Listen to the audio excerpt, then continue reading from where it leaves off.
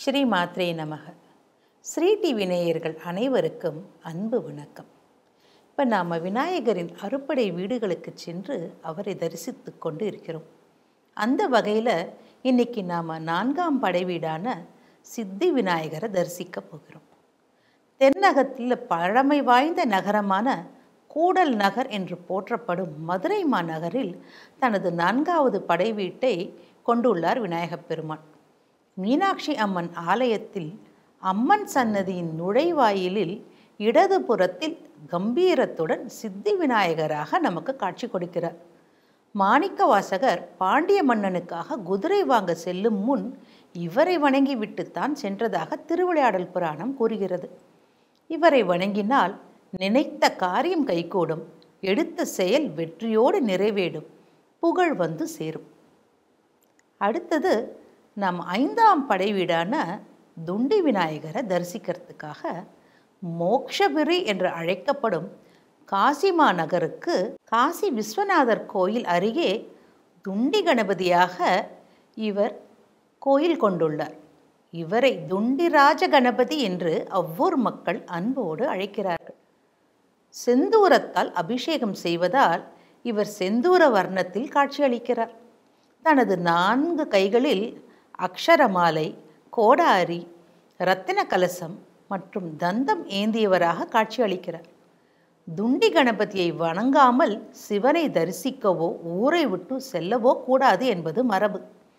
பத்மாசுரனின் மகன் துராசண்டனை வெற்றி கொண்டதால் இவர் துண்டி கணபதி என்று போற்றப்படுகிறார். கந்த புராணம் துண்டி கணபதியின் பெருமையை விளக்குகிறது. ஒரு முறை துவோதசன் என்னும் மன்னன் காசியை ஆண்டு வந்தான். அவன் பிரம்மாவிடம் பெற்ற வரத்தால் தேவர்கள் மற்றும் சிவபெருமான் காசி நகர ஈசன் உடனே கணபதியின் உதவியை நாடினார்.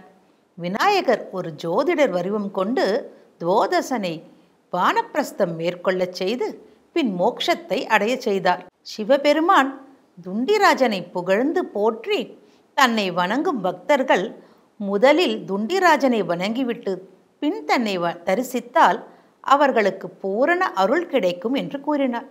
இதனால் மகிழ்ந்த விநாயக பெருமான் ஐம்பத்தி ஆறு திரு உருவம் கொண்டு காசி நகரில் எட்டு திக்குகளிலும் குடிக்கொண்டு அருள்பாலிக்கிறார் அவரின் இருபத்தி ஆறாவது திருவுருவமே துண்டிராஜ கணபதி.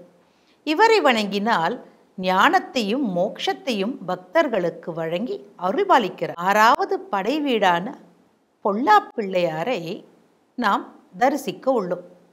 முனிவர் ஒருவரின் சாபத்தால் நாரையாக பிறந்து கந்தர்வன் ஒருவன் சிவபெருமானை வேண்டி சாப விமோச்சனம் அடைந்ததால் திருநாரையூர் என்று பெயர் பெற்ற இத்தலத்தில் தன் ஆறாவது படை வீட்டை கொண்டுள்ளார் நம் கணநாதர்.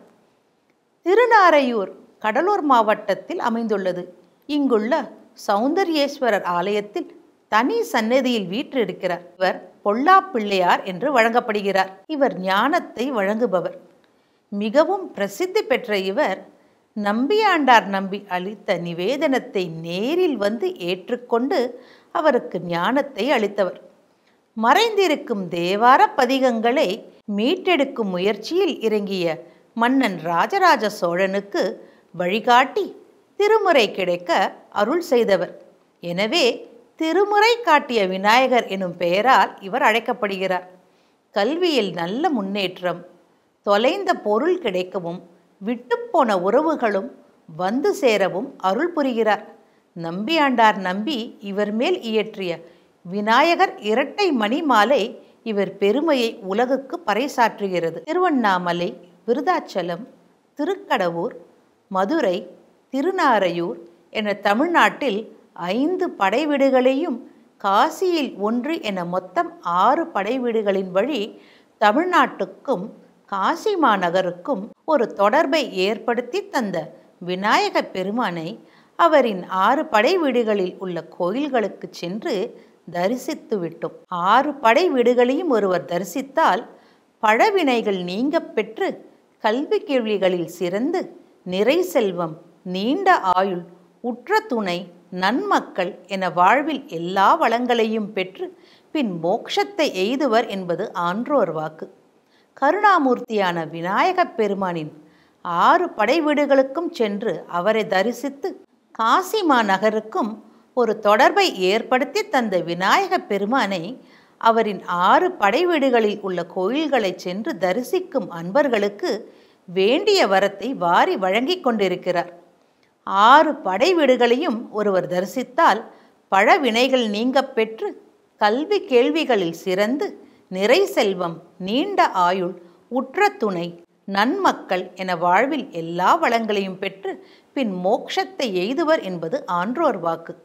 கருணாமூர்த்தியான விநாயகப் பெருமானின் ஆறு படைவீடுகளுக்கும் சென்று அவரை தரிசித்து அவர் அருள் பெறுவோம் தும்பிக்கை ஆண்டவனின் அருளை பெற்ற நாம் நாளை முதல் அன்னையின் சக்தி பீடத்திற்கு பயணிப்போம். சர்வம் சக்திமயம்.